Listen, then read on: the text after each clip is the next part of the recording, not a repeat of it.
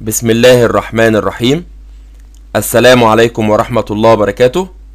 النهاردة إن شاء الله معادنا مع المحاضرة 27 من محاضرات الجافا مادة M257 هنستكمل مع بعض unit 3 آخر حاجة وقفنا عندها المحاضرة اللي فاتت في unit 3 كان صفحة 23 هنشتغل النهاردة إن شاء الله على section 4 بيتكلم على ال constructors طبعا إحنا اشتغلنا على ال constructors ولكن هناخد إن شاء الله معلومات جديدة.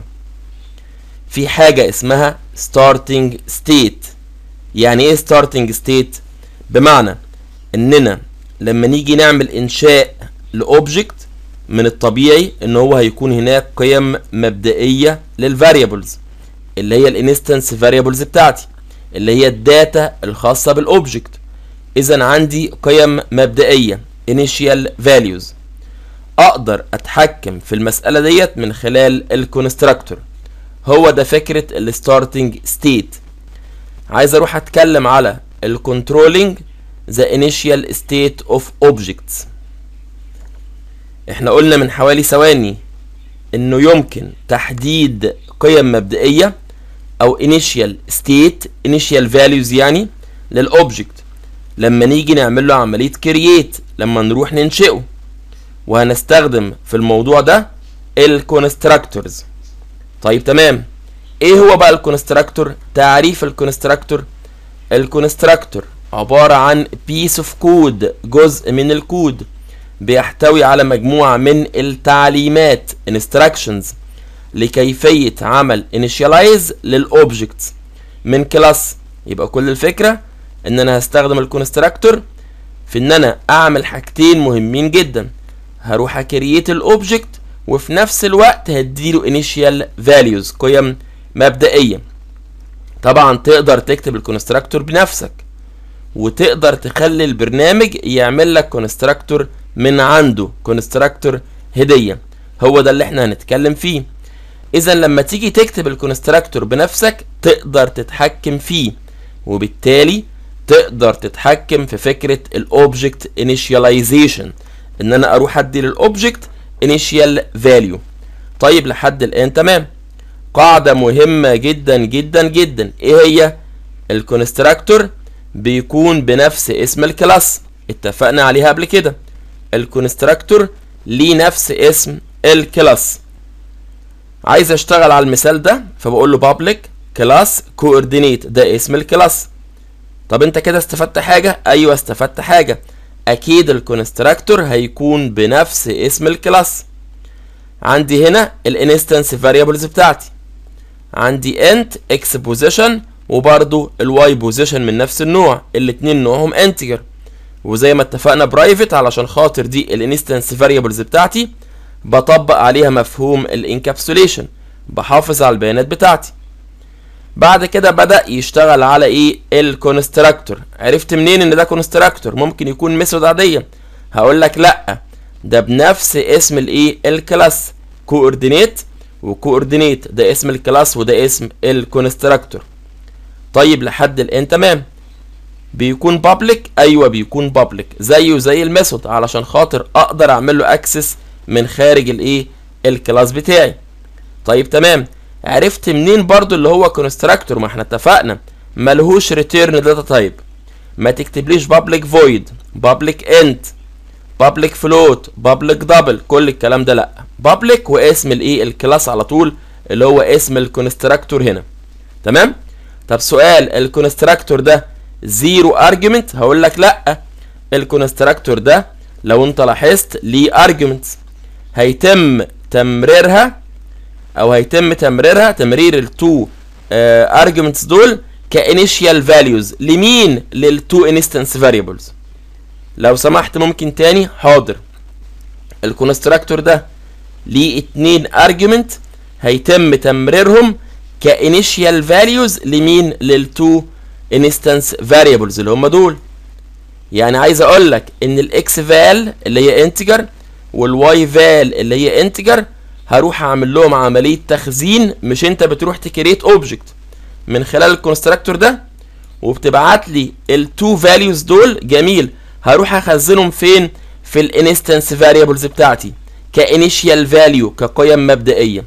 فهقول له ال x val حطها فين؟ في ال x position لأن أنا عارف إن أنا بشتغل في في الايه في موضوع ال assignment operator ده. ال assignment statement ديت ال right hand side في ال left hand side روح خزن لي ال x val في ال x position وال y val في الايه في ال y position تمام؟ يبقى أنا عندي constructor هبعت معاها قيم لو سمحت روح خز... روح خزنها لي في ال instance variables اللي أنا اتفقت معاك عليها. طيب لحد الآن تمام؟ بمجرد استخدام ال constructor وعمل invoke ليه هيتم create object جميل جدا. إحنا اتفقنا على الكلام ده؟ والكلام ده هيكون باستخدام الكلمة المحجوزة اللي اسمها new يبقى نتفق اتفاق. ما ينفعش تستخدم ال constructor من غير الكلمة المحجوزة اللي اسمها new أول ما بشوف new ووراها أي كلام يبقى ده اسم ال constructor أقدر أبعت parameter طبعا عادي جدا. ما أنت عارف أنت عندك constructor بياخد parameter يبقى لازم أروح أبعت معاه two parameter اتنين واتنين. يبقى الاتنين الأولى دي لمين؟ لل x val والاتنين التانية لل y val. هو انت ليه بتقول لي الأولى والتانية؟ إيه المشكلة؟ لا مهم جدا الترتيب. الأولى مع الأولى والتانية مع التانية الترتيب مهم جدا وانت بتبعت ال argument وانت بتبعت ال value ديت. طيب تمام. رجع تاني بيقول لك ملحوظة مهمة جدا. القيم التي يتم تمريرها وانت بتستخدم ال constructor لابد وأن تكون من نفس النوع. يبقى معلومة مهمة. ومعلومة تانية من نفس الترتيب. يعني إيه؟ تهتم بحاجتين. يكون نفس النوع ونفس الترتيب. ال2 دي بتاعت أول واحدة ال x val. دي نوعها integer وكمان الاتنين نوعها integer. طب والاتنين التانية؟ برضو integer. هبعتها لمين؟ لل y val. أعتقد كده فهمنا حاجة مهمة جدا. لازم يكونوا الاتنين من نفس الترتيب ومن نفس النوع بالنسبة للإيه؟ ال arguments بتاعتي. طيب تمام؟ جملة استخدام ال constructor اللي من خلالها هروح أعمل create ل object أهي. أعتقد إنها يعني مش أول مرة تشوفها ولكن هنراجع عليها تاني. بقول له اسم ال class بتاعي اسمه إيه؟ اسمه coordinate بيسا آه اسم ال class بتاعي ال Coordinate مسافة. وبعد كده ال reference بتاعك اللي هو ال object اللي أنت عايز تروح تعمل له create أهو اسمه new coord طيب تمام. بيساوي new. وانت عارف ان بعد new بيجي اسم ال constructor. ممكن تاني حاضر. اسم ال class. مسافة. ال object بتاعك ال reference بتاعك اللي انت هتروح تعمل له create. باستخدام الكلمة المحجوزة اللي اسمها new. طبعا وبعد كده اسم ال constructor. واوعى تنسى تبعت ال parameters. إيه ده؟ ده 20 و minus 2 والمشكلة؟ 20 لل x val و minus 2 لل y val. ال 20 دي integer وكمان ال minus 2 integer. يبقى أنا كده ما خالفتش ال rules اللي إحنا اتفقنا عليها. طيب لحد الآن أعتقد كده الفكرة وضحت والدنيا أصبحت يعني واضحة بالنسبة لنا بالنسبة لموضوع ال constructor. ولكن عايز أقول لك على حاجة مهمة. مؤلف الكتاب ما بيعتبرش إن ال constructor method هي في الغالب هي method أنا ما بقولكش إنها مش method ولكن special case هو جه قال لك لأ ال constructor أنا مش بعتبرها method. طب ليه؟ قال لك علشان خاطر ملهاش return type ما إحنا اتفقنا إن ال constructor ملهوش return type ارجع تاني أهو. هو ده ال constructor. قال لك public وبعد كده مسافة واسم ال constructor على طول. طب فين void وفين int أو float أو double أو غيره؟ قال لك لا مش موجود. طالما مش موجود قال لك خلاص أنا مش هعتبرها method يبقى خليك عارف إن مؤلف الكتاب لا يعتبر ال constructor بمثابة method لأنه ليس لديها أو ليس لها return type طيب لحد الآن أعتقد المسائل بدأت توضح معانا أكتر. بعد كده بدأ يقول لك إن في ثلاث خطوات أساسية في موضوع ال construction ده. موضوع إنشاء ال object ثلاث خطوات أساسية متضمنة أو متضمنة في عملية إنشاء ال object الأولى قال لك أول حاجة بيكون عندي empty empty. أو default object. Empty object. أدي أول خطوة. الخطوة الثانية بروح أعمل عملية initialization ولكن ماله explicit يعني صريح. بروح أعمل عملية initialization يبقى any explicit initializer أو initialization. الخطوة الثالثة إن ال constructor code ماله هيتنفذ بقى is executed يبقى عندك ثلاث خطوات وطبعا هنشتغل عليهم حالا. الخطوة الأولى empty object الخطوة الثانية بعمل عملية explicit initialization الخطوة الثالثه بروح أعمل عملية execute لل constructor code قال لك في حاجة مهمة جدا لازم تكون عارفها يعني كم- كملحوظة كده. في الخطوة الأولى اللي هي خطوة الايه ال empty أو ال default object في حاجة مهمة جدا لازم تكون عارفها. بيقول لك in step 1 instance variables are initialized to default value. ال instance variables بتاعتك هتاخد قيم مالها قيم مبدئية. وانت عارف ان أنا لما بيكون عندي reference type بياخد null دي القيمة المبدئية بتاعته ال default value بتاعته. القيمة الافتراضية بمعنى أصح. ولو كان عندك boolean بياخد false ولو كان عندك قيم numeric قيم رقمية بتاخد zero أكيد انت لسه فاكر إن ال integer بياخد zero ولو عندك character اللي هي char data type بتاخد القيمة اللي انت شايفها ديت. يبقى خلي بالك في الخطوة الأولى اللي هي ال empty object أو ال default object مالها قال لك ال instance variables بتاعتها بتاخد default value قيم افتراضية. لو كان عندك reference بياخد null لو كان عندك boolean بياخد false لو كان عندك أرقام numeric types أرقام بتاخد zero ال integer بياخد zero طب لو كان عندك char type بياخد القيمة اللي انت شايفها ديت backslash u واربع تصفر. طيب لحد الآن الفكرة تمام؟ ده بالنسبة للخطوة الأولى. ناخد بقى الخطوة الثانية الخطوة الثانية من خطوات إنشاء ال object the steps in constructions. الخطوة الثانية اسمها إيه؟ اسمها explicit initializer. يعني إيه explicit initializer إحنا اتفقنا كلمة explicit يعني صريح. و initializer جاي من كلمة initialization بدي قيم مبدئية يبقى قيم مبدئية صريحة. يعني مش متضمنة لأ صريحة. مش ضمنية لأ صريحة. طيب تمام. بمجرد استدعاء ال constructor الفاضي هيكون عندي قيم مبدئية لل instance variables طب لو سمحت ممكن تشرح لي المثال علشان خاطر أفهم ولكن قول لي المعلومة تاني. حاضر. بمجرد استدعاء ال constructor الفاضي هيكون عندي قيم مبدئية لل instance variables التابعه لل object إلا إذا تم استدعاء constructor ليه argument ممكن واحدة واحدة؟ حاضر. يلا بينا نتفق اتفاق. أنا عندي ال class بتاعي. اسمه إيه؟ اسمه Coordinate طالما قلت لك اسم. اسم ال class بتاعك تقول لي على طول واسم ال constructor بنفس الاسم اسمه Coordinate يلا بينا نشتغل على الخطوة الثانية إحنا قلنا اسمها إيه؟ اسمها explicit initializers.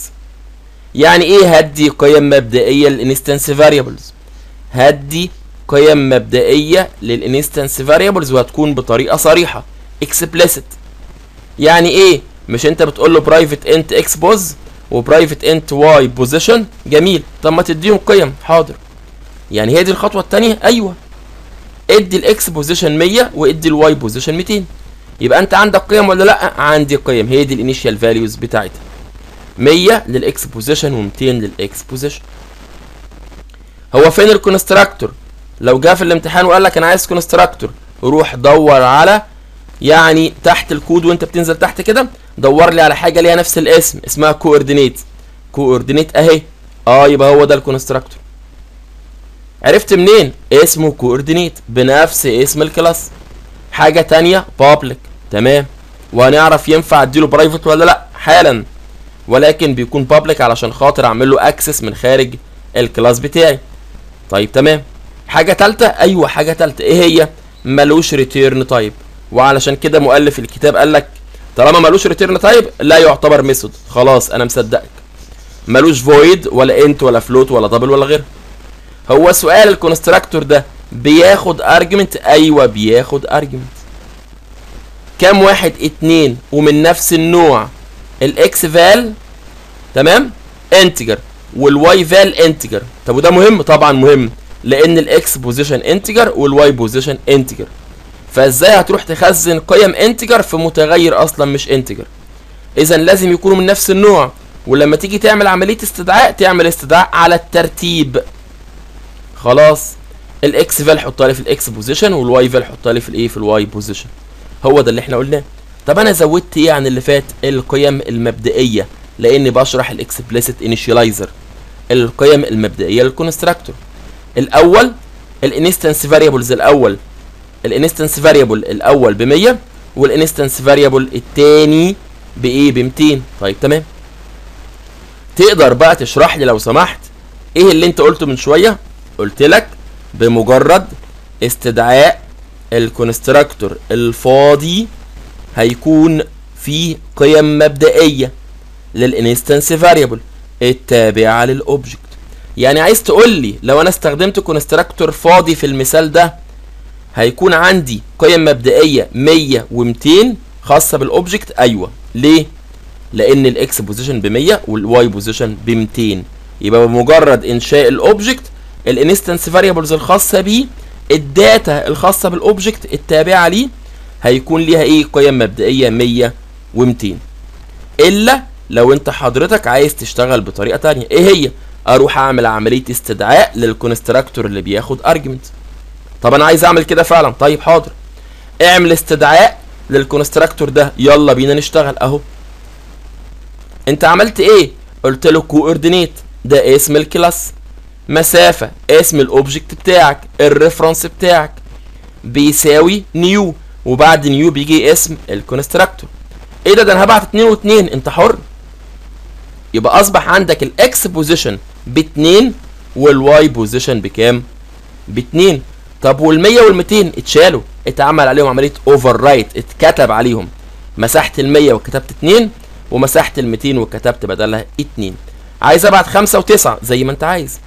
إذا لو انت قلت له new coordinate وسبتها فاضية بيروح ينادي ال constructor الفاضي تمام؟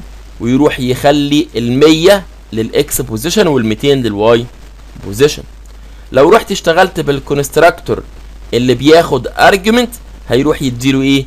هيديله هنا 2 وهنا كمان هيديله 2 لأن أنا اشتغلت على 2 و2 طيب لحد الآن أعتقد كده الفكرة واضحة ولكن خلي بالك من حاجة مهمة جدا. أنت هنا ما عندكش constructor فاضي. عندك constructor بياخد 2 argument طيب تمام. بيقول لك writing your own constructor. عايزك تكتب ال constructor بنفسك إذا عايزك تتدرب على فكرة ال constructor. في الأول في مثال المثال ده بيتكلم على فكرة ال voting. طبعا أنا اشرحه بالتفصيل ولكن الأول في examples لل constructors أهي. وبعد كده ناخد examples 1 و 2 و 3 وهكذا. ولكن عايزين نبدأ بالأمثلة بتاعه الايه ال coordinate الأول. نبدأ بال coordinate وبعد كده ناخد مثال ال voting حالا دلوقتي. مثال ال voting على فكرة حلو يعني فيه شغل كتير يعني. نفس ال class بتاعي اسمه coordinate طيب تمام. لو أنا جيت كده وسألتك سؤال وال constructor خلاص بقى أنت حفظت ال constructor هيكون بنفس الاسم. طب ممكن أسأل حضرتك سؤال؟ اتفضل. هو لازم يكون عندي constructor واحد؟ لأ. ممكن يكون عندك أكتر من constructor واحد أو اتنين أو تلاتة زي ما أنت عايز ولكن خلي بالك طالما هتشتغل على أكتر من constructor داخل نفس ال class لازم تنوع في ال argument بتاعتها. واحد constructor يكون فاضي. التاني يكون بياخد argument واحدة. التاني أو التالت يكون بياخد two argument الرابع يكون بياخد تلاتة argument وهكذا. تعمل عملية تنويع. هو ده اللي بيسموه مفهوم ال overloading يعني إيه؟ أراجع معاك تاني. الاسم بتاع ال method مش إحنا قلنا نفس الاسم واحد هو هو ما بيتغيرش. ال signature هي هي؟ ولكن الاختلاف فقط في عدد ال argument عدد ونوع ال argument عدد ونوع ال argument طيب تمام؟ أنا عندي هنا ال data بتاعتي. ممكن تقول لي إيه ال data بتاعتك؟ ال data بتاعتي. عندي متغير instance variable وعندي class variable إيه ده؟ مش اتفقنا المرة اللي فاتت أو اللي قبلها تقريبا؟ شرحنا فكرة ال static. وعرفت إيه static بيكون ثابت أو بيكون واحد لكل الايه لكل الشغل بتاعي لكل ال objects بتاعتي. زي فكرة العميد بالنسبة للطلبة. هنا بيقول لك private static هو جرى العرف إنها تكون public ولكن هنا عايز يحافظ على ال data بتاعته كلها. مفيش مشكلة هو حر.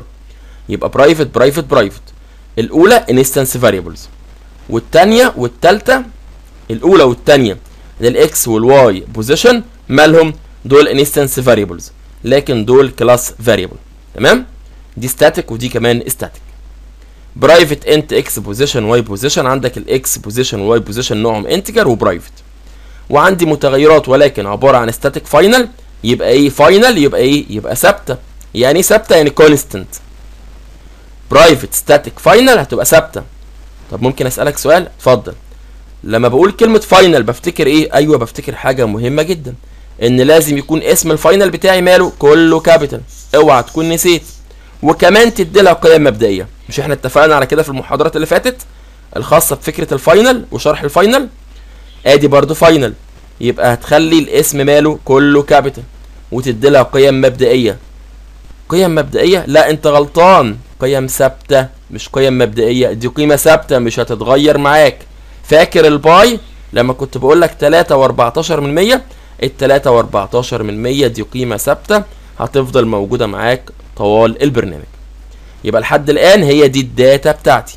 ولكن على شكلين instance variable و class variable ال instance variable x x y و position x pos و y pos ال class variable اللي هي الايه؟ ال default x وال default y والاثنين نوعهم final و static و private وطبعا عبارة عن integer قيم إيه؟ قيم رقمية صحيحة. بتاخد القيمة zero والإيه؟ القيمة zero بالنسبة لل x والقيمة y بن... والقيمة zero بالنسبة لمين؟ لل y. طيب تمام. لحد الآن أنا كده خلصت ال data بتاعتي. ممكن لو سمحت ننزل على ال constructor. حاضر. آدي ال constructor. مال ال constructor؟ بياخد two argument وعادي جدا. بقى ال x val حطها في ال x position وال y val في ال y position طيب تمام. أقدر أعمل constructor تاني؟ عادي جدا. أهو اسمه coordinate وده بنفس الاسم. ولكن ده ماله؟ ده بياخد حاجة واحدة فقط. بياخد argument واحد فقط. ادي ال argument بتاع ال x val اهو عادي جدا. ال x val في ال x position طب والتاني؟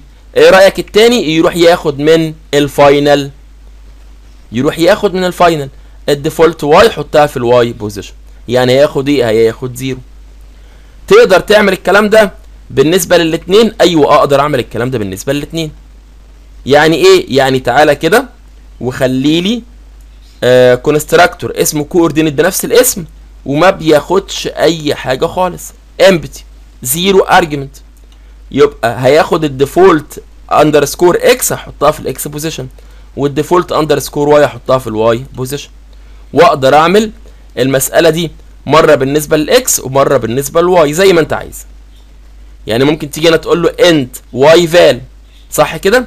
وأخلي ال y val أهي أخليها في الإيه في ال y position أما هنا أقول له ال default underscore x زي ما أنت عايز. تقدر تنوع زي ما أنت عايز. تقدر تعمل أكتر من constructor أنت عندك هنا كام constructor آه عندي واحد بياخد 2 argument وعندي واحد بياخد 1 argument وعندي واحد تاني 0 argument عندي 3 constructor بعد كده يلا بينا بقى نشتغل على موضوع ال voting. زي ما اتفقنا موضوع ال voting هو فكرة class عادي جدا ولكن في شغل زي ما اتفقنا هنحاول نفكره فيه مع بعض. هو ما فيهوش حاجة. أسهل مما تتخيل لو أنت طبقت أو فهمت معايا المثال اللي فات هتفهم برضه موضوع ال voting. ده عبارة عن آه يعني هو بيديك مجموعة من الأمثلة على فكرة ال constructor فقال لك أنا عندي class اسمه Voter. جميل جدا. تفهم منه إيه Voter؟ يبقى أنا عندي constructor أكيد اسمه Voter. ال class اسمه Voter وال constructor اسمه Voter. طيب تمام. فين ال data بتاعتك؟ أهي. أظن سهل جدا جدا تميزها. private و private private int age و private final static int minimum age minimum underscore age عندي ايج العمر بتاع الراجل اللي هيروح يعمل عملية voting هيروح يعمل عملية تصويت في انتخابات سواء مجلس شعب أو رئاسة أو غيره مش مهم. تمام؟ مهم جدا عمر الراجل اللي هيروح يدي صوته. طيب تمام. نوعه إيه؟ نوعه integer هيقول لي عندي 18 سنة 20 سنة 40 سنة يبقى عندي ال age بتاع ال voter نوعه integer و private علشان خاطر أحافظ على ال data بتاعتي. وعندي متغير ولكن بلاش كلمة متغير خليها كلمة final عندي final ال final ده ماله؟ ثابت 18 سنة. ده ال minimum age أقل عمر بالنسبة لل voter أي واحد رايح يدلي بصوته رايح يصوت في انتخابات لازم يكون عمره يعني 18 فيما فوق ما يكونش أقل من 18 سنة. طالما كلمة 18 طالما- طالما رقم 18 ده رقم ثابت إيه رأيك نخليه في final نخليه في final يبقى private final static int أو ممكن أقول له private static final int مفيش أي مشكلة خالص. ارجع فوق.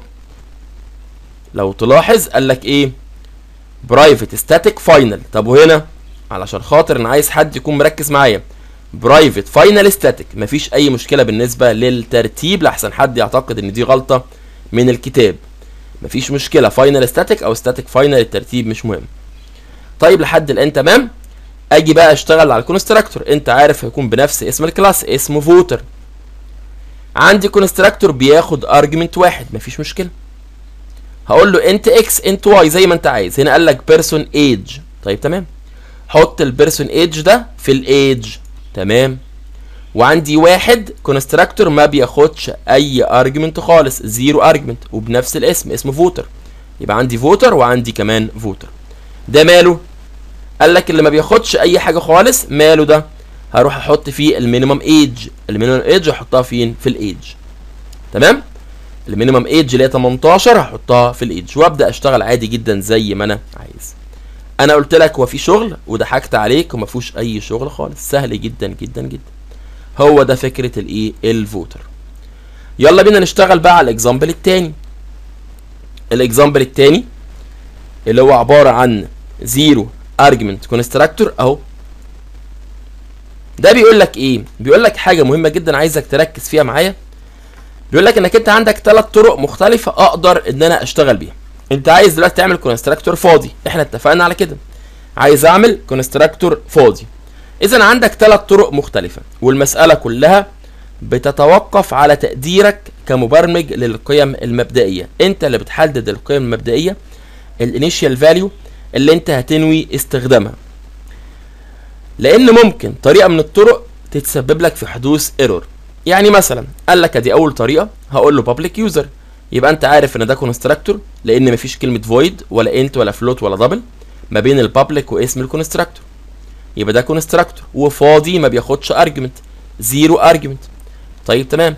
واكيد هيكون بداخل ال class اللي إحنا شرحناه قبل كده اللي اسمه User عندك قيم مبدئية عايز اديها لمين؟ للمتغيرات بتاعتي ال instance variables بتاعتي ال num of access وال user ID وال email address يجي واحد يقول لي ال num of access ماله؟ ده integer هحط فيه zero وده عبارة عن string هحط فيه empty string double quotation فاضيين وده كمان double quotation فاضيين empty string مفيش أي مشكلة خالص وأبدأ إن أنا أروح أعمل create ل object اسمه livingston ال livingston ده عبارة عن object أو reference من ال class اللي اسمه User وهشتغل بال new User ال User اللي هو الإيه؟ الفاضي ال constructor الفاضي. مفيش أي مشكلة خالص. طيب تمام. طبعا هو ممكن يكون شايف إن الرؤية دي مش مناسبة بالنسبة له فيروح يشتغل برؤية تانية خالص. قال لك هنا ال email address. وال user ID دي عبارة عن متغيرات بتاخد قيم string. هنا أنت عطيتها فاضي. فلما تيجي تشتغل مثلا وتبعت إيميل هتبعت إيميل لحاجة فاضية طبعا ممكن يتسبب لك في error فمش هتعرف تعمل send لل email. يعني كل واحد ليه رؤية.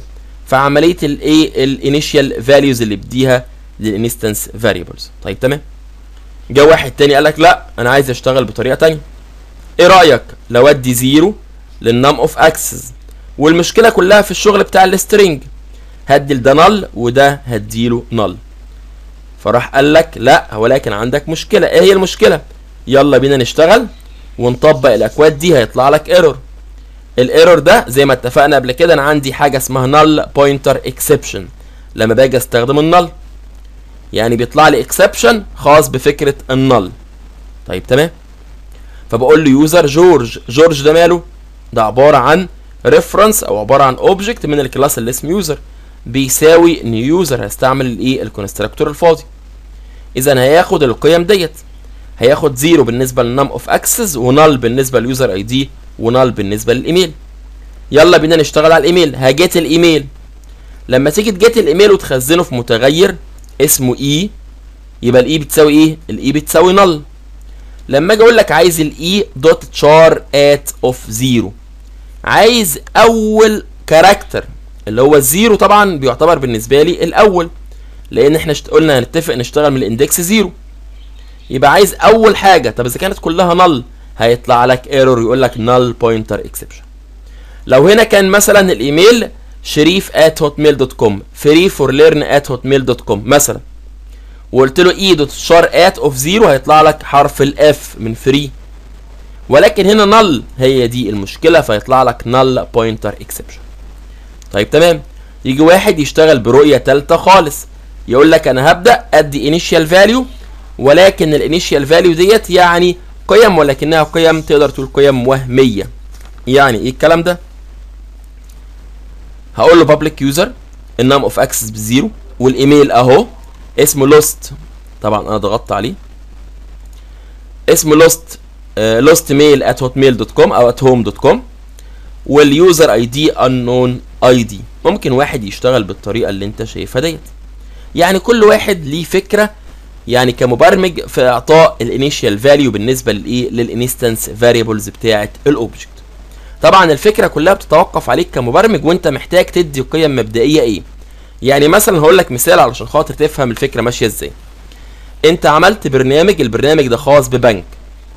فأي واحد هيعمل إنشاء هيعمل كرييت لحساب في بنك المفترض إنك انت تديله قيم مبدئية لحد لحد ما هو يحط القيم بتاعته.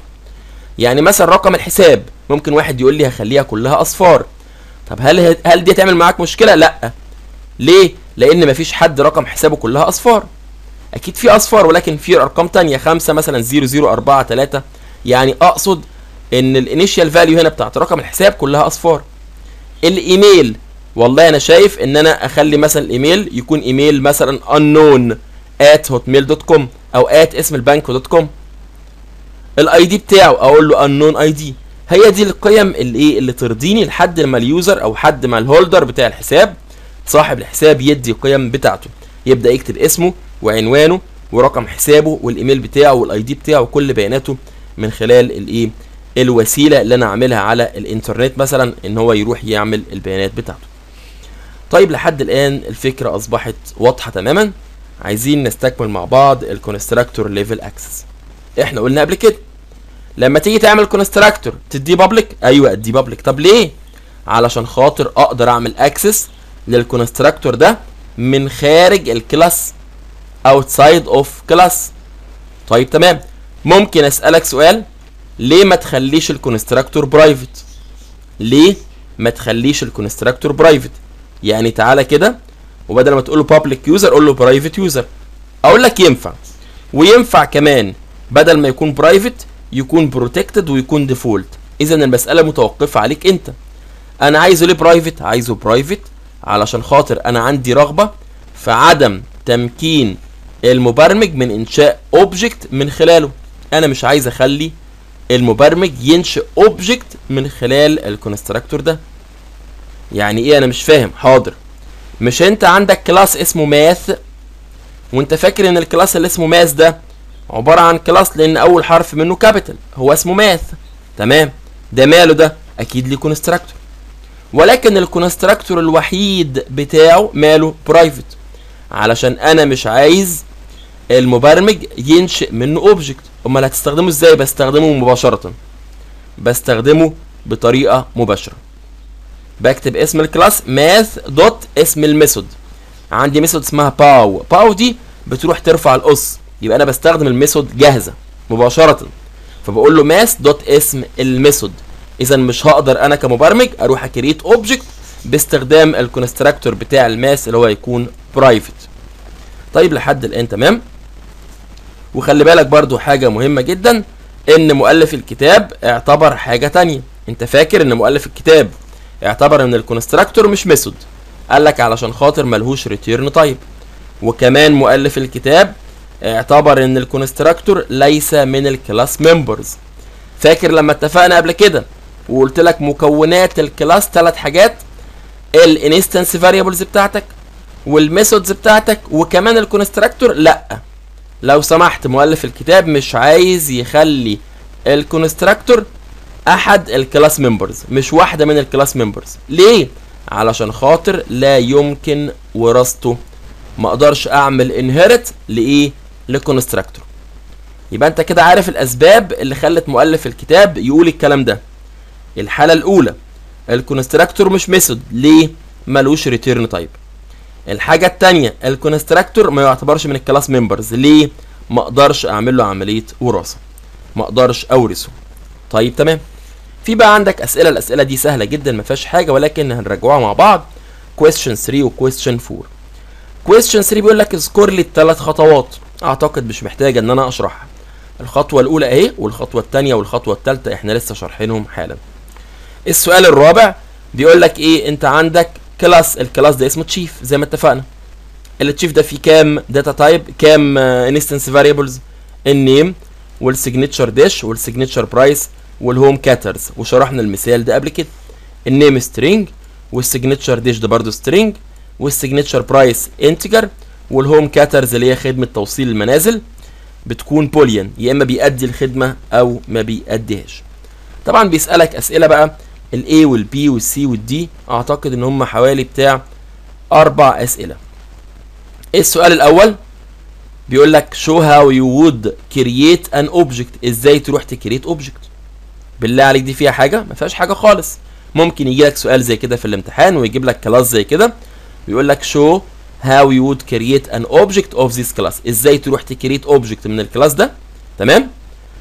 Reference by an identifier. واعطاه لك الاسم. الاسم بتاعي بتاع ال reference بتاعك بتاع ال object بتاعك. يبقى مهم جدا تعرف تقرأ السؤال صح. بيقول لك ال identifier اللي هو بمعنى اصح اسم ال object بتاعك أو اسم ال reference من ال class ده هيكون اسمه إيه؟ اسمه بير بوجن يعني ايا كان الاسم مش مشكلة تسميه أي اسم أنت عايزه. ولكن طبعا هنا بيطلب بيطلب منك اسم محدد. يبقى لازم تكتبه زي ما هو. طيب تمام. بيقول لك آه اسمه بيير بويزون بيير بويزون sorry uh, assuming that you have a zero argument constructor. وخلي بالك افترض إنك أنت عندك zero argument constructor. يبقى وأنت بتنشئ ال object ده عندك الاسم بتاعه. وهستعمل constructor هيكون zero argument أعتقد بقى خلاص هو كده بيغششك المسألة وبيوضح لك السؤال مش محتاج أكتر من كده. إيه رأيك؟ مسألة سهلة. اسم ال class اسم ال reference اللي هو عطولك تكتبه زي ما هو بالتفصيل ما تألفش. بيساوي new وبعد كده ال constructor الفاضي. والله ال constructor الفاضي هي اللي لخبطتني. لخبطتك ليه؟ ما انت عارف ان ال constructor بيكون بنفس اسم ال class. هتاخد الاسم زي ما هو وتحط الأقواس فاضية. واوعى تنسى السيمي كولن يبقى السؤال ده مضمونه درجته لو جالك في الامتحان زيه. ده بالنسبة لإيه؟ بالنسبة لبي.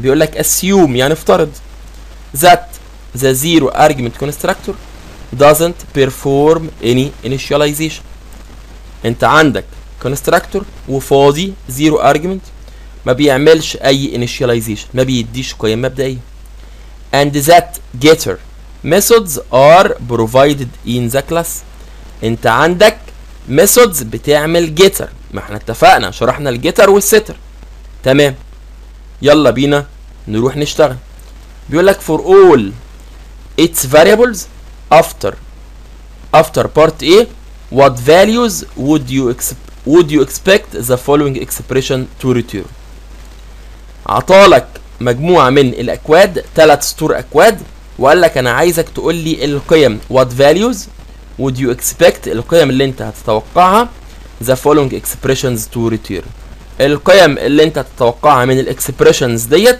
إنها تروح تعمل لها عملية return. ده اسم ال reference بتاعك.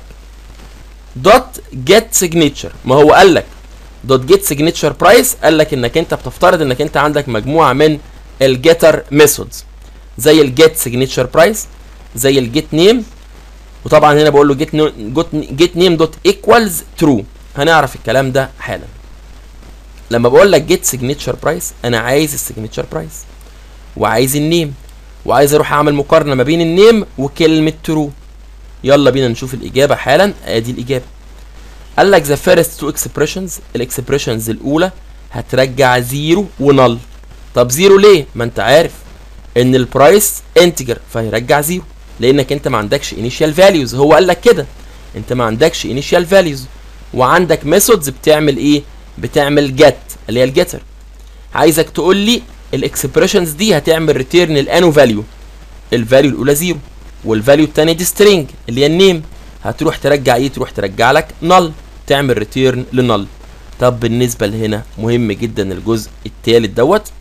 بيقول لك بالنسبة للبي أهو the third expression would cause the program to crash. هيعمل لك مشكلة في البرنامج.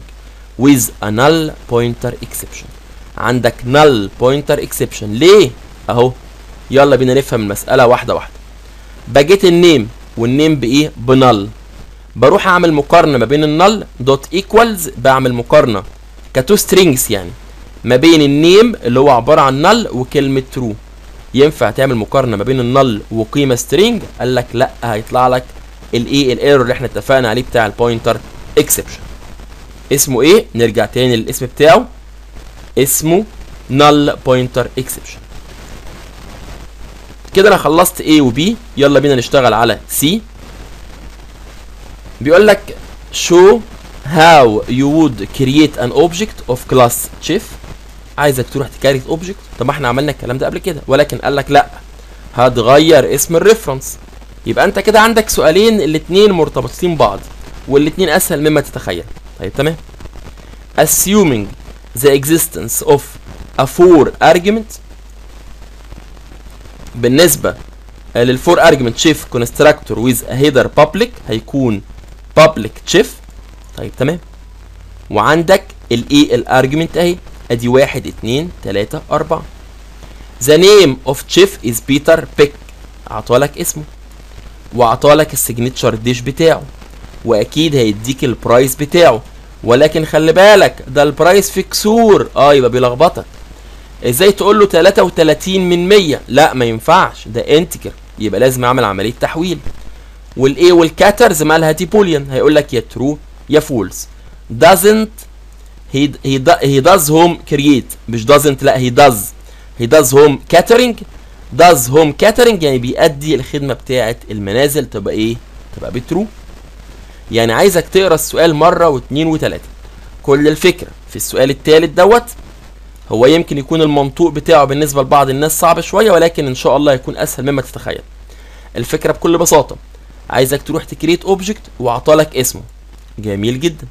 وقال لك خلي بالك أنت عندك أربع argument بالنسبة لل constructor اللي هو هيكون public chef أهي chef name وال dish name وال price والإيه وال caters اللي هي تعتبر boolean يبقى عندك واحدة string والتانية string والتالتة integer والأخيرة boolean اللي هي الرابعة boolean وبدأ يديك القيم. ال name بتاعه أهو اسمه بيتر بيك ال dish signature أهو اسمه bacon ال price أهي ولكن دي integer يبقى لازم أحول القيمة دي ل integer ال catering اللي هي حتة الجزء بتاع تلبية آه توصيل المنازل أو تلبية آه الخدمة بتاعه توصيل المنازل يعني. تمام؟ اللي هي ال home delivery يعني. ال catering اسمها هنا catering قال لك هو بيأديها. he does اوعى تقراها غلط زي ما أنا قريتها. he does مش he doesn't لا he does home catering يعني بيأدي الخدمة بتاعة توصيل المنازل. أحل السؤال إزاي؟ أنا عايز أروح أشتغل على فكرة create ال object ه create ال object المسألة برضو إن شاء الله سهلة. اسم ال class. ال object اللي هو عطاهولك اسمه اسمه بيتر بيك هو عطالك كلمة بيتر بيك على جزئين. بيتر بيك هو انت ينفع تسمي اسم ال object بتاعك ال reference بتاعك وتخلي فيه مسافات؟ طبعا ما ينفعش. ما ينفعش الكلام ده. فهقول له بيتر بيك بدون مسافات يبقى دي أول ملحوظة. بيساوي new chef اللي هو اسم الإيه؟ ال class بتاعك اللي هو عبارة عن constructor بيكون بنفس الاسم. وابدأ حط القيم بتاعتك. اسمه إيه؟ اسمه بيتر بيك مفيش مشكلة في المسافات. هحط الكلام ده ما بين اتنين double quotation لأنه string ال bacon ده اسم ال dish بتاعه ال signature dish بتاعته اسمه باكون ما بين اتنين double quotation التلاتة point 30 خلاها 330 زي ما انت شايف خلاها كلها integer لأن دي القيمة مش بالبنس وأنا عندي القيمة بالبنس اللي هي بتاعة ال price يبقى أحولها لإيه؟ لل integer 330 بنس طيب تمام؟ بيأدي الخدمة ولا لا؟ أيوه بيأديها بيروح يودي طلبات للمنازل. يبقى إيه؟ true أعتقد كده الفكرة سهلة. وهنا بيبدأ يقول لك خلي بالك أنا رحت عملت عملية convert من ال pound أعتقد ده بالعملة الاسترليني. هيروح يعمل عملية تحويل ما بين ال pounds للايه للبنس طبعا pounds دي العملة الاسترليني الجنيه الاسترليني. طيب تمام هيحولها من pounds لإيه؟ لبنس علشان خاطر هو شغال بال integer الفكرة واضحة. نيجي بقى لآخر سؤال. What values would you expect? إيه هي القيم اللي أنت متوقعها لل expressions الايه اللي تحت ديت؟ After making Peter Pick reference to objects uh, reference the object suggested in part C. يعني السؤال ده معتمد على فهمك ل part C بيقول لك إيه هي القيم ال values اللي أنت هت إيه هت expect هتتوقعها؟ The following expressions من ال expressions الثلاثه دول to produce after making Peter Pick بعد لما تروح تعمل عملية إنشاء لل reference اللي اسمه بيتر بيك وعلى فكرة بيساعدك. خدت بالك؟ حط لك بيتر بيك بدون مسافات. بيتر بيك reference the object suggested in بيت in part C يعني إيه في ال part C ده؟ بعد لما أنت خلصت ال object ده عايزك تروح بقى تشتغل على الايه الشغل الايه ال expressions الثلاثه دول وتروح تقول لي إيه هي القيم المتوقعة. System dot out dot print ln يبقى هيطبع وينزل سطر ثلاث مرات. هيطبع وينزل سطر ثلاث مرات. بيتر بيك ده اسم ال reference. dot اسم ال method. هيروح ي get ال signature price هيروح ي get ال name. هيروح يعمل مقارنة ما بين ال name وال true من خلال ال method اللي اسمها equals طبعا هنا مش هتطلع error ليه مش هتطلع error لأنك أنت فعلا عندك name مش null لما كانت بتطل... بتبقى ب null هنا كان بيطلع لي ال pointer exception طيب تمام؟ ال signature price آه لو أنت عملته هنا فوق غلط هيطلع كمان هنا غلط. أهو 330 أوعى حد يغلط يقول له 3 وإيه و30 من 100 pound لا 330 pence وال name أعتقد بقى مش محتاج شرح اسمه بيتر بيك هتخلي مسافات؟ طبعا هخلي مسافات لأن دي عبارة عن قيمة string مش اسم reference طيب تمام. dot equals بروح أعمل مقارنة ما بين البيتر بيك كاسم يعني والترو. طبعا أكيد مفيش وجه مقارنة. هتطلع بإيه؟ هتطلع ب false ده بالنسبة للجزء بتاع question 3 و question 4 هنكمل الشغل بتاعنا. عندي موضوع اسمه ال default constructor موضوع ال default constructor بكل سهولة بيقول لك إن المسألة باختصار إنك أنت لو ما روحتش عملت إنشاء ل constructors بنفسك ال Java هتعمل لك constructor يعني بدلا منك. لو انت ما عملتش انشاء ل constructor بنفسك ال Java هتعمل لك constructor ليك هدية. طيب تمام. هو ده فكرة ال default constructor وبيكون على فكرة zero argument ما تتوقعش ان ال constructor ما تتوقعش ان ال Java هتعمل لك constructor ب argument لا.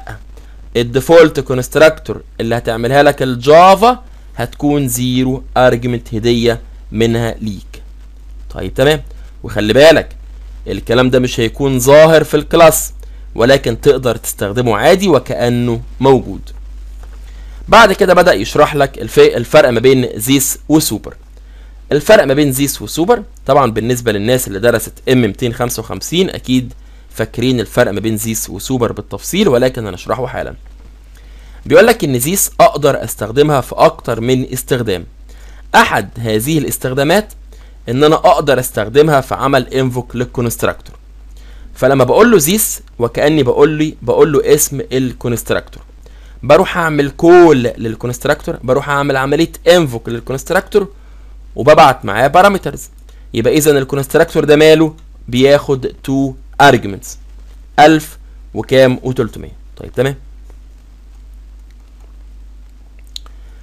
بعد كده بدأ يشرح لك class اسمه three int. ال three int ده هيطبق لك فيه فكرة this بالتفصيل. واحدة واحدة مع بعض هنفهم فكرة ال three int. ده عبارة عن class اسمه 3 int. طيب أنا فهمت منه إيه؟ فهمت إن ال constructors كلها اسمها 3 int. أدي constructor 2 3 4 عندك أربعة constructor بنفس الاسم. طيب تمام. ولكن عايز أقول لك على معلومة مهمة جدا جدا. زيس لما بقول له زيس وبعد كده ببعت parameters أو حتى ما ببعتش parameters أنا بقول له this وببعت parameters واحد اتنين تلاتة. ببعت تلاتة. تلاتة. صح كده؟ خلي بالك من حاجة مهمة جدا. إن الطريقة ديت مخصصة فقط لل constructor اوعى تستخدم الطريقة دي مع ال methods العادية. الهدف منها بعمل عملية reuse إعادة استخدام لل constructor اللي انت كتبته قبل كده. يبقى خلي بالك فكرة this وأروح أبعت constructor أروح أبعت ال arguments بالطريقة ديت ده ماله؟ ده كل الهدف منه إن أنا بستخدمه لعملية إعادة الاستخدام reuse لمين؟ لل constructor. ممكن بقى تشرح لي المثال؟ حاضر. public class اسمه 3 int طيب تمام. بعد كده عندي ال data بتاعتي. ال instance variables بتاعتي. كلها integer وعبارة عن private ال access modifiers بتاعها أو ال access modifier بتاعها private عندي p و q و r ال constructor الفاضي اللي اسمه 3 int لو رحت اشتغلت بيه هيروح يعمل call يعمل invoke ل constructor بياخد 3 parameter هبعت 0 0 0 يبقى أنت لو رحت عملت object عملت create ل object باستخدام ال constructor الفاضي ده إيه اللي هيحصل؟ البي هتكون بزيرو والكيو هتكون بزيرو والار هتكون بزيرو. يجي واحد يقول لي طب ما أنا ممكن أشيل الكلام ده؟ وأقول له p بتساوي zero q بتساوي zero r بتساوي zero. مفيش أي مشكلة خالص كلامك صح. ولكن أنا عايز أشرح لك this اذا بدل ما أكتب ثلاث سطور بكتب سطر واحد فقط. بقول له this zero zero zero يبقى ال constructor ده ماله؟ ال constructor ده بيدي قيم مبدئية انيشال فاليوز لمين؟ للانستنس فاريبلز البي والكيو والار من خلال استخدام this طيب لحد الآن تمام. بنفس الطريقة ولكن هبعت معاه قيمة ال a هبعت معاه ال a اللي هي عبارة عن قيمة مين؟ أول واحد فيهم. خلاص. يبقى أنت هتحط لي القيمة بتاعت ال a خلاص. والباقي ب zero. أعتقد الفكرة واضحة. لو سمحت أنا عايز أبعت ال a وال b براحتك. أدي ال a وال b والتالت بإيه؟ ب zero. لا أنا عايز أبعت التلاتة ال a وال b وال c يبقى ال P بيساوي إيه؟ والكيو بيساوي البي والار بتساوي السي ما إحنا اتفقنا ال P Q R بالترتيب. يبقى كل اللي حصل هو عمل إيه؟ هو عمل استدعاء لده. فهمت الفكرة؟ اذا كل اللي فوق بيعملوا إيه؟ بيعملوا عملية استدعاء لمين؟ لدوت لل 3 int.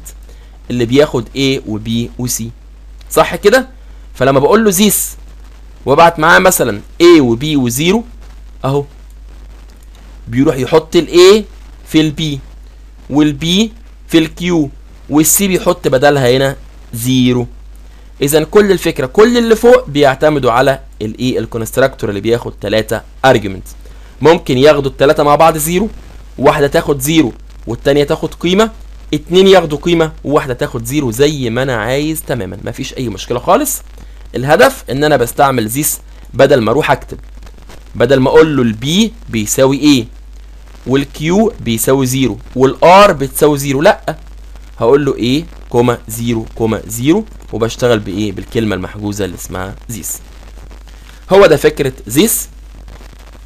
طيب يبقى في المقابل إحنا بن... طبعا إحنا بنستخدم الكلام ده في ال constructors فقط اللي هو فكرة this والهدف منه زي ما اتفقنا بعمل عملية reuse إعادة استخدام لل constructor اللي أنا كتبته قبل كده اللي هو قصده على مين؟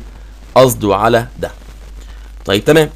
في المقابل نحن لا نستخدم هذه الطريقة في عمل invoke لل methods إحنا اتفقنا مش هقدر استخدم نفس الطريقة ديت اللي هي فكرة this في عمل invoke لمين؟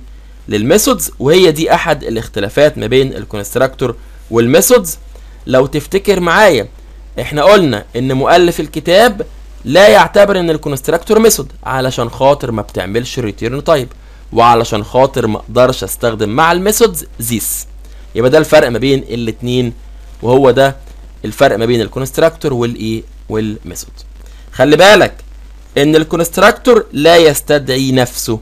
يعني إيه؟ يعني ما أقدرش أقول له this وأعمل أقواس فاضية. لازم أقول له this وأبعت معاها parameters أبعت معاها arguments يبقى ال constructor لا يستدعي نفسه. ما أقولوش this وأفتح أقواس فاضية ببعت الايه ال arguments أو ال parameters بتاعتها. هنشرح حالا فكرة طبعا هنا بيقول لك الكلام ده غلط أهو. اللي إحنا لسه بنقوله من شوية الكلام ده غلط. ما يعتبرش. يعتبر إيه؟ ما يعتبرش صحيح يعتبر illegal يعتبر غير شرعي أو غير صحيح invalid يعني غير صحيح. Public 3 int. ما ينفعش أقول له this واقواس فاضية الكلام ده غلط. ببعت إيه 0 0 0 ببعت A comma 0 0 ببعت إيه بي a comma b comma 0 زي ما إحنا شفنا في المثال اللي فات. عايزين نشرح حالا فكرة الايه السوبر. الفكرة بكل بساطة من السوبر. طبعا السوبر دي عبارة عن keyword عبارة عن كلمة محجوزة. لو أنا افترضت إن أنا عندي class اسمه four int ال four int ده عبارة عن class بيرث بي extend بي inherit من ال three int. يبقى أنا عندي sub وعندي سوبر عندي ال sub أهو اللي هو ال four int وعندي السوبر اسمه 3 int. بالنسبة لل class اللي اسمه 4 int ده ماله؟ ليه data خاصه بيه؟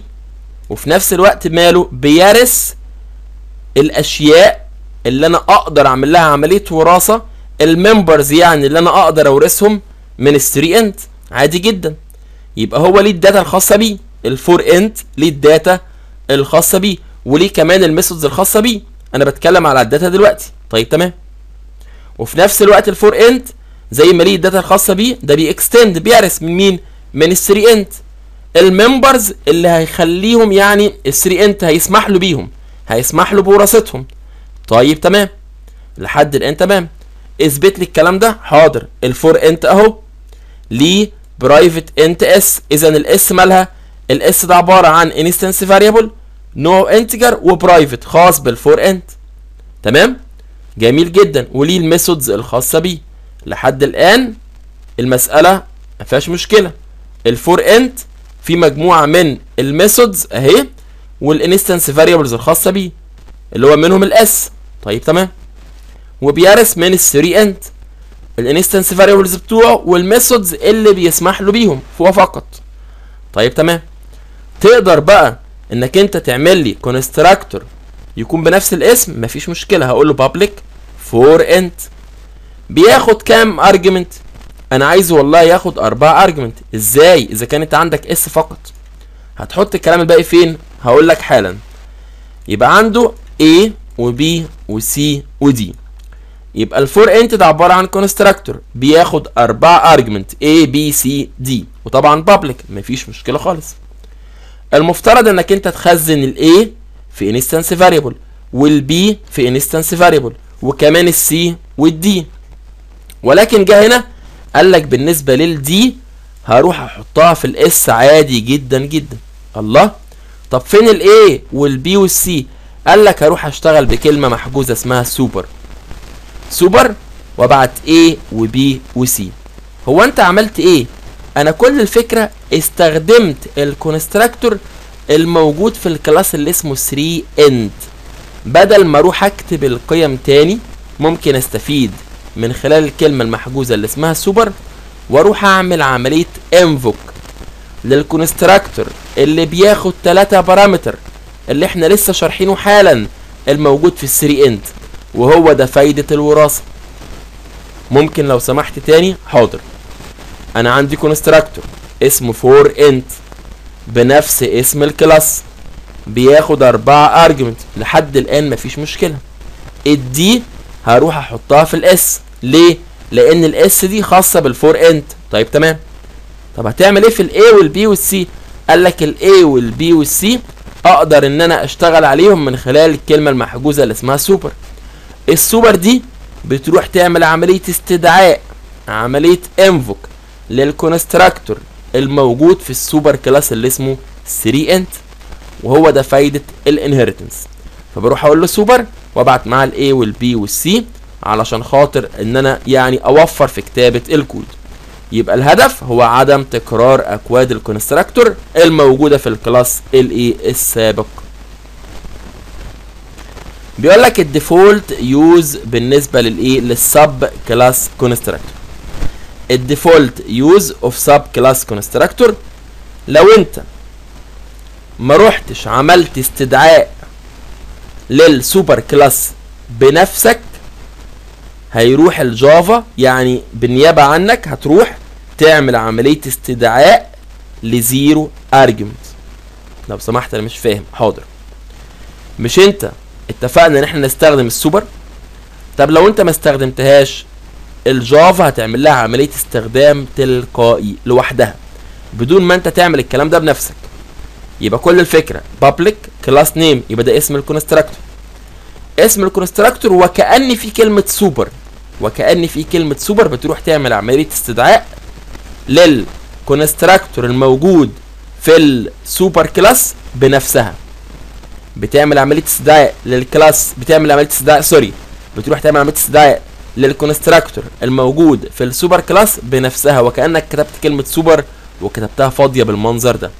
طبعا هنا إحنا كتبنا الكلام ده بإيدينا لأن أنا عايز constructor محدد عايز أقول له عايز ال constructor اللي فيه A وB وC يعني ليه ثلاثة argument ولكن هنا هو بيروح يعمل عملية إنشاء بيروح يعمل عملية استدعاء لل constructor الفاضي بنفسه من خلال الكلمة المحجوزة اللي اسمها سوبر هو ده فكرة ال default use of super class constructor لو انت ما روحتش عملت عملية استدعاء زي ما إحنا عملنا فوق عملت عملية استدعاء بطريقة مباشرة ال Java هتروح تعمل عملية استدعاء نيابة عنك لواحد سوق ولا لواحد constructor ولكن نوعه إيه؟ نوعه zero argument بالطريقة اللي انت شايفها ديت. public ال class name وبعد كده بيكتب سوبر فاضي. طبعا الكلام ده أنت ما بتشوفهوش هو بيعمله ولكن في الخفاء. بيعمل الكلام ده بالنيابة عنك. فاضل لنا موضوع الموضوع ده اسمه garbage collection عايزين نركز فيه. واحدة واحدة هو عبارة عن كلام نظري مفهوش أكتر من كده ولكن علشان خاطر لو جالك في الامتحان. الفكرة بكل بساطة ده آخر موضوع في محاضرتنا النهاردة. الموضوع اسمه garbage collection كلمة garbage اللي هي النفايات يعني القمامة. فكلمة collection بيجمع النفايات وكأنه جامع للإيه؟ للقمامة. فكل الفكرة إن إحنا طبعا قمنا بعملية إنشاء لعدد كبير جدا من ال object في البرنامج بتاعنا.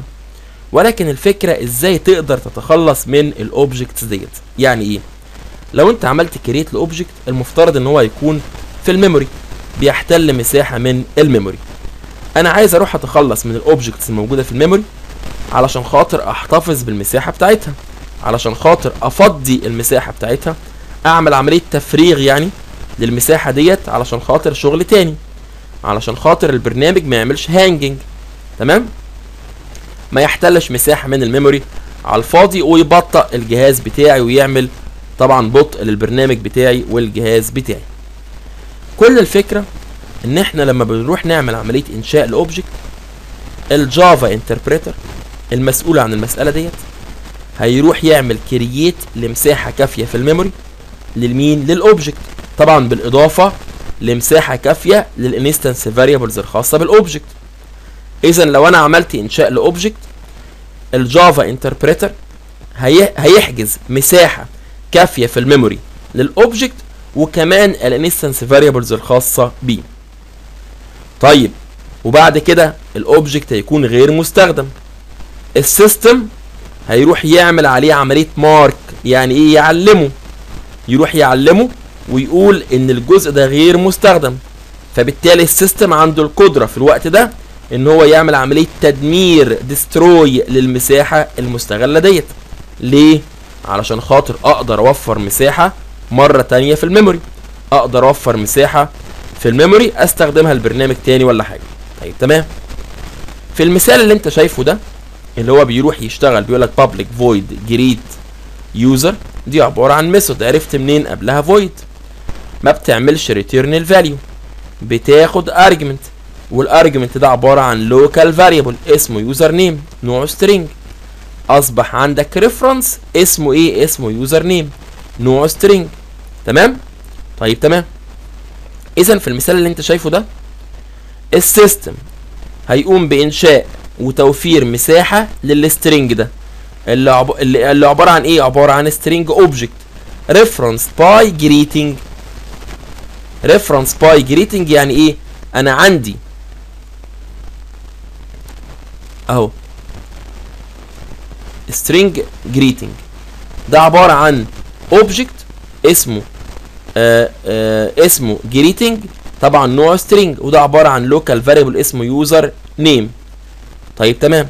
يبقى الجزء ده اللي أنا بشتغل فيه أهو هو ده اللي يهمني لأن ده بالنسبة لي local variable. أنا بتكلم على ده أهو. عندي في المثال ده آه قيمة string اسمها greeting عبارة عن string object referenced by greeting أهو يعني اسمه greeting ونوعه string. بحتفظ من خلاله بمجموعة من الكاركترز اللي هي how do you do. مال الجزء ده هو ده الجزء اللي أنا احتليت فيه مساحة من ال memory. طيب أنا خلصت ال methods بتاعتي. بعد لما أنت خلصت ال methods بتاعتك المساحة المستغلة لل object ده اللي اسمه greeting مالها؟ أنا محتفظ بجزء في ال memory اسمه greeting هروح أعمل علامة unused يعني هعلم عليه إن هو unused غير مستخدم. ده بالنسبة لل system يعني. هيكون الوضع ده هو الوضع الآمن لإزالة المساحة المستخدمة. أو إزالة المساحة المحجوزة من ال memory. ممكن تفسر الموضوع ده؟ حاضر. أنت عندك زي ما اتفقنا مساحة محجوزة وهفضيها. وفي نفس الوقت أنت عندك method ال method اسمها greeting اسمها greet user بتستخدم يعني متغيرات. المتغيرات دي مالها local variable مرتبطة بإيه؟ بال method. مرتبطة بمدة حياة ال method. أول ما رحت عملت invoke لل method استغلتها بعد كده خلاص مش مستغلة. اذا كل المسألة إن أنا كان عندي مساحة وأصبحت غير مستغلة هعلم عليها هتكون marked يعني متعلم عليها بإنها unused غير مستغلة سواء بالنسبة لل local variable أو بالنسبة لل reference بتاعي اللي اسمه greeting وطبعا الكلام ده هيقوم بيه ال system نيابه عنك. المسألة دي كلها على بعض اللي هي عملية تفريغ المساحة الغير مستغلة دي بيسموها garbage collection طب ممكن تقول لي مزاياها وعيوبها؟ حاضر. عيوب المسألة بتاعة ال garbage collection ديت إن العملية ديت هتتسبب في بطء يعني بسيط للبرنامج وبطء البرنامج ده كارثة. يبقى عيوب المسألة اللي هي اللي اسمها garbage collection دي أو عيوب العملية اللي اسمها garbage collection هتتسبب في بطء البرنامج. طب ولكن في ميزة حلوة قوي قوي يعني بالنسبة لنا إحنا ك programmers أنت غير مسؤول على الإطلاق إنك أنت تقوم بعملية الجاربج كوليكشن بنفسك في الجافا. الجافا بتعمل الجاربج كوليكشن نيابة عنك كمبرمج ولكن في ال C لأ أنت المسؤول عن عملية ال garbage collection يبقى اتفقنا في ال Java مش أنت اللي بتعمل ال garbage collection ال Java نفسها اللي هي اللي بتعملها. ولكن في ال C يعني ال programmers اللي شغالين في ال C عارفين إن في حاجة اسمها allocate وفي حاجة اسمها deallocate ال allocate بيحجز بيها مساحة في ال memory وال deallocate يعني بيعمل عملية تفريغ للمساحة دي من ال memory. اذا ال garbage collection في ال Java بيتم بطريقة اوتوماتيك ولكن في ال C ال programmer هو اللي بيعملها. المحاضرة الجاية إن شاء الله هنشتغل على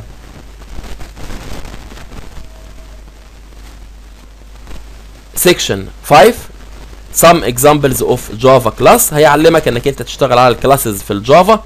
طبعا إحنا عملنا الكلام ده قبل كده ولكن هو بيحاول يدربك أكتر على فكرة ال classes المحاضرة الجاية إن شاء الله هنشتغل بداية من صفحة 32 في unit 3 وبكده تكون انتهت محاضرتنا النهارده. السلام عليكم ورحمة الله وبركاته.